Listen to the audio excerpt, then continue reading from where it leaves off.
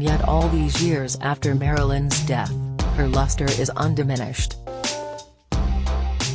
She remains the ultimate celebrity icon, the most renowned and desirable blonde bombshell the world has ever seen. But why is Marilyn still the best loved and most recognizable screen legend on earth? Nick Kent, executive producer of a documentary to mark the 60th anniversary of her death, says that in the last six decades nobody has really challenged Marilyn's status. He adds, there is still no one to touch her. The beauty and sex appeal she had at the time are equally powerful now. Her attraction is universal. She's been embraced by the gay community, too. There's something about Marilyn that is incredibly resilient. Another factor, Nick believes, is that we lost her too soon. She really died at the top of her game, with her beauty and her sex appeal undimmed, he says. A lot of stars, James Dean, Elvis, died young, but some have lasted better than others. Marilyn has lasted exceptionally well. Finally, she represents a genuinely glamorous period when the modern-day concept of celebrity was just getting started. It was a very alluring era, says Nick whose documentary covers the famous 2016 auction at Julien's in Los Angeles that raised $11 million from the sale of more than 1,000 items from Marilyn's life, from the Happy Birthday, Mr. President dress and the gown she wore on 1959 blockbuster Some Like It Hot to menus on which she scrawled her career ambitions. Marilyn, JFK Frank Sinatra, The Rat Pack, that era is Western capitalism in all its unbridled, sexy, full-on power. Her fragile beauty inspired pop artist Andy Warhol, who created iconic images of her in the 1960s. And her vulnerability was captured by Elton John and Bernie Taupin in their moving ballad Candle in the Wind. Although she was often misogynistically viewed as a dumb blonde and a victim of manipulative men, in many ways Marilyn was in control of her own destiny, taking charge of her career in a way that was unusual for the time. And what is rarely appreciated is that behind the flirty manner and the sex bomb image, she was extremely intelligent. She is widely reported to have had a genius-level IQ of 168 and men underestimated her at their peril. Time magazine called her a shrewd businesswoman. She struck a groundbreaking deal with 20th Century Fox in which she won the right to choose her own pictures and directors. She was also one of the first women in Hollywood to start her own production company. There's a kind of brazen independence about Marilyn, says Nick. The interesting thing is that she is a sex symbol, but she's also a feminist icon. Look at the way that she controlled her career and set up her own production company with its own checkbook. She died a few days after she got a million dollar deal with a Hollywood studio. She was at the peak of her powers. She was a woman who absolutely took control of her own life. Would you characterize Marilyn as a victim, or as a freedom fighter, battling for women's power and independence and status in a business that, let's face it, is remarkably misogynistic and sexist? Marilyn certainly scored a memorable victory for independence in 1952 when, as a rising star, she rode out a press storm as nude photos she had posed for in 1949 to pay the bills came to light she toughed it out at a press conference. When a journalist asked her, what did you have on? She replied blithely, the radio.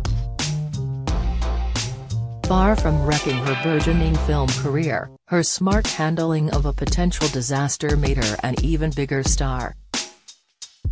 Professor Sarah Churchwell, author of The Many Lives of Marilyn Monroe, observes, she became famous as the first major Hollywood star to survive a nude scandal. Marilyn was the first to say, yeah, it's me.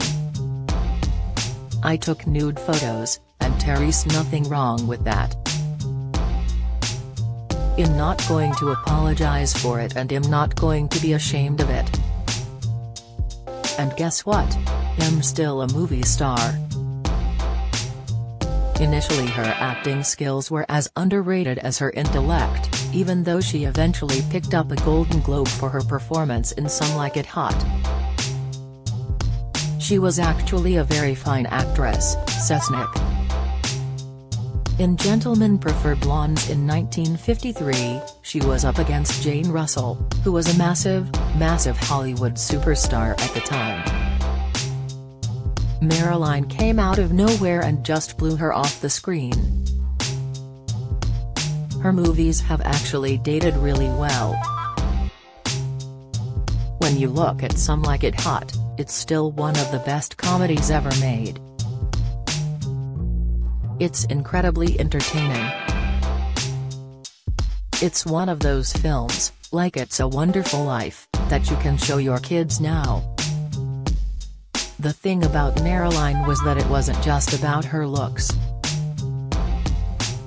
She was also a phenomenal talent. Marilyn was exceedingly canny in deliberately crafting her image, too. After seeing her in Gentlemen Prefer Blondes, fellow actress Ellen Burstyn says, I remember being just astonished that a girl could be so sexy on purpose. She revolutionized the female image. No one had ever done that before. Monroe reached the high point of her global fame on May 19, 1962 when she gave a spellbinding, breathy rendition of Happy Birthday, Mr. President, in possibly the most celebrated dress of all time. She had to be sewn into the nude effect gown, crafted from sheer silk and adorned with more than 6,000 crystals to sing for John F. Kennedy's 45th birthday at Madison Square Garden. Edward Meyer from Ripley's Believe It or Not Museum says, it's the most iconic dress of the 20th century. It combines pop art and politics. It ties it all in beautifully. Darren Julien, from the auctioneers who sold the dress six years ago, agrees. People are mesmerized by seeing it, he says. It makes people cry. Very few artifacts in our lifetime have that effect on the public. When the star removed her first stole on stage and appeared to be almost naked, the audience audibly gasped. Bob Mackie, who helped legendary Hollywood couturier Jean Louis design the dress, admits, it was based on the idea that Marilyn would be absolutely nude with just diamonds on her as she walked out. Professor Churchwell emphasizes the seismic impact the dress had on the night, and continues to have. It caused a sensation, she says. Lots of people to this day who haven't seen any Marilyn Monroe films have seen that footage of her singing in the dress that one historian described as skin and beads. Nick underlines how compelling that moment remains. She looked absolutely incredible in that dress. But it's not just how she looked. Singing Happy Birthday, Mr. President in that way still gets a reaction. It still makes the hairs on the back of your neck stand up. So seductive was Marilyn's delivery of the song that it immediately sparked rumors that she and JFK were having an affair they endure to this day. It was the apogee of her celebrity. And yet tragically, just three months later, she was dead. The totemic nature of the dress is surely the reason why Kim Kardashian became the only person apart from Marilyn to wear it when she used it for a three-minute appearance on the red carpet at the Met Gala in New York in May. Kim, 41, was accused of damaging the dress, which was bought by Ripley's Believe It or Not museum at the auction in 2016 for a record-breaking $4.8 million. The reality TV star, who had to lose 16 pounds to get into it, denied tearing it. The fact that she was so keen to channel the sexiest woman of all time is easy to understand.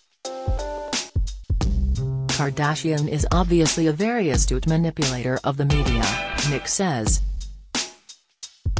She was probably hoping that some of Marilyn's stardust would be sprinkled upon her.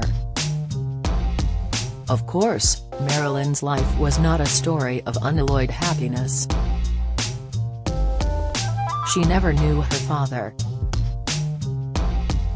When she was eight, her mother was diagnosed as a schizophrenic, and the young girl spent the rest of her childhood in various orphanages and foster homes. Marilyn's luck did not improve as she got older. She married at 16 and quickly divorced. Her second husband, baseball great Joe DiMaggio, beat her up in a fit of jealousy after her famous billowing dress publicity shot for the seven-year itch. She went on to have several miscarriages with her third husband, the equally possessive playwright Arthur Miller. Marilyn seemed to have it all, but she always struggled with inner demons she had no sense of stability from her childhood, says Professor Churchwell. Then she went to Hollywood, an environment that was going to exacerbate all her anxieties. She was often isolated and lonely. Despite dying so young, Marilyn managed to bequeath a stunning legacy. She left us a wonderful filmography and a unique, timeless and dazzling persona, which inspired other artists. As her friend Ellen Burstyn concludes, I never really met anybody like her. There was a sweetness about her. She never played dark characters. She was like a sexy angel. A luminous character, a radiant being and, six decades after her death, Marilyn continues to shine her light on us all. Marilyn Monroe, Auction of a Lifetime is on PBS America at 9.55 p.m. tonight, and streaming on Freeview.